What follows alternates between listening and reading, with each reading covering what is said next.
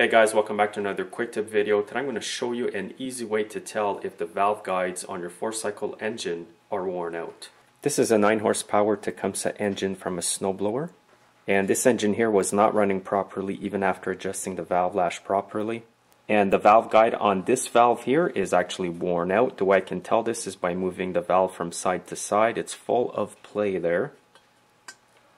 It's actually a very basic way to know if your valve guides are worn out. Just grab your valve, pull it up a bit, move it side to side. If you get play like this, it's totally worn out. And you can even hear the clunking.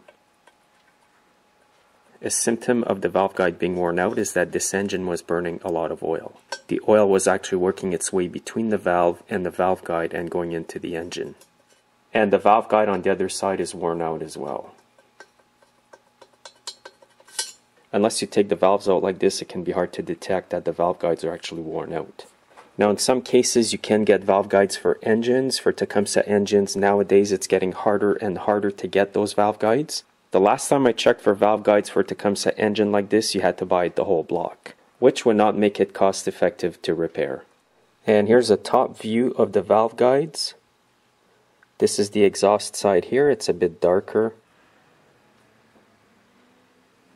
And before I cleaned up this exhaust valve, there was a lot of carbon built up right underneath.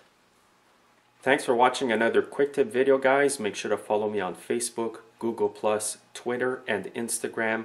All those links are underneath today's video. And also have yourselves a great day.